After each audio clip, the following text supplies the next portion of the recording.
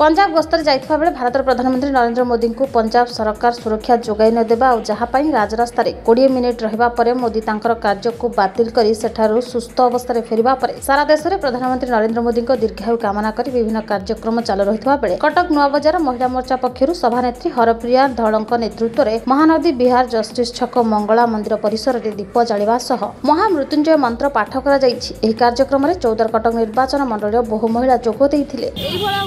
ପ୍ରଧାନମନ୍ତ୍ରୀ ଜଣେ ପାଇକି ଆମେ ବହୁତ ଗର୍ବିତ ଉମ୍, ଆମ ନିଜକୁ ଆମେ ଗର୍ବିତ ମନେ କରୁଛୁ।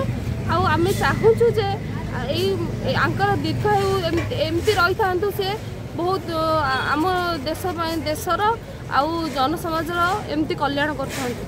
ତାଙ୍କ ବିଶ୍ୱ ଦରବାରରେ ଉମ୍, ପରିଚିତ ହେଇଛି।